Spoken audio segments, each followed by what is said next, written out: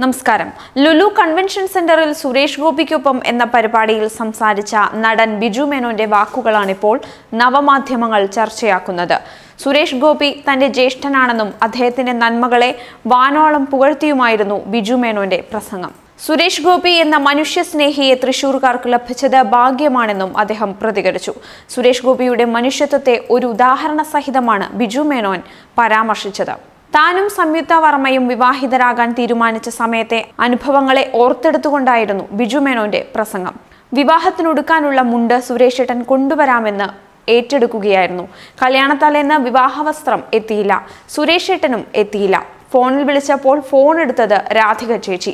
സുരേഷ് ഏട്ടൻ എത്തിയില്ലല്ലോ എന്റെ മുണ്ട് എന്ന് ചോദിച്ചപ്പോൾ രാധിക ചേച്ചിയുടെ മറുപടി. സുരേഷ് ഏട്ടൻ അത്യാവശ്യമായി ആശുപത്രിയിൽ പോയിരിക്കുകയാണ്. ഒരു കുഞ്ഞിന്റെ ചികിത്സയുടെ ആവശ്യത്തിനായി. അപ്പോൾ എന്റെ മുണ്ടോ എന്ന് ചോദിക്കണം ഉണ്ടായിരുന്നു. എങ്കിലും കോൾ കട്ട് ചെയ്ത് ഉടനെ ഒരു മുണ്ട് വാങ്ങിയെന്നായിരുന്നു ബിജു മേനോന്റെ പ്രതികരണം. തുടർന്ന് സുരേഷ് ഏട്ടൻ ആശുപത്രിയിൽ നിന്നും വന്ന ഉടനെ വിളിച്ചു.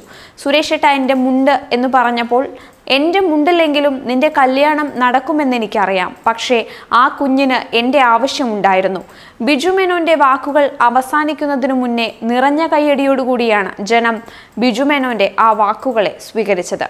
അദ്ദേഹത്തിന്റെ വാക്കുകളിലേക്ക്. എനിക്ക് എന്റെ ലൈഫിലുണ്ടായ ഒരു പേഴ്സണൽ എക്സ്പീരിയൻസ് പറയും. എന്റെ കല്യാണം.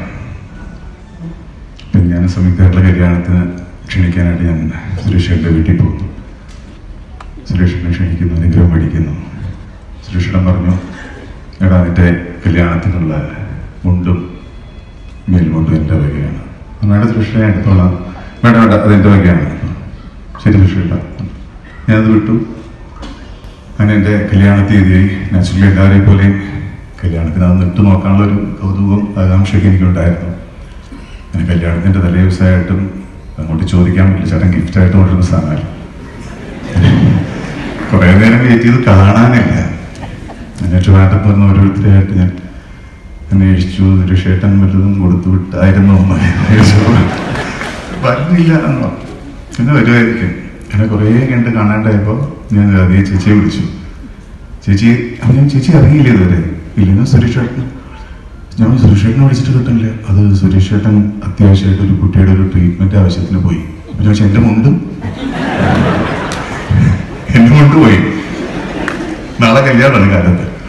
അപ്പൊ ഞാൻ? രാത്രി തന്നെ പോയി മുണ്ടൊക്കെ എടുത്തു. പിന്നെ ഞാൻ കുറെ കണ്ട് സുരേഷ് ചേട്ടനെ വിളിച്ചു. എന്റെ കല്യാണം അതെങ്ങനെയെങ്കിലും നടന്നോളും. അത് കാര്യം നോക്കാൻ ഞാനേ ഉള്ളൂ. അത്രയും ഭയങ്കരമായി സ്നേഹിക്കുന്ന എല്ലാവരെയും സ്നേഹിക്കുന്ന കൂടുതൽ വ്യക്തി പൂഴ്ത്തി പറയുന്നതല്ല നമ്മുടെ ഭാഗ്യമാണ് സുരേഷ് ചേട്ടനെ തൃശ്ശൂർക്ക് കിട്ടിയത്.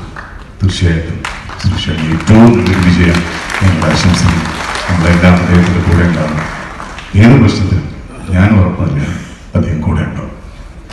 ആശംസിക്കുന്നു എല്ലാവർക്കും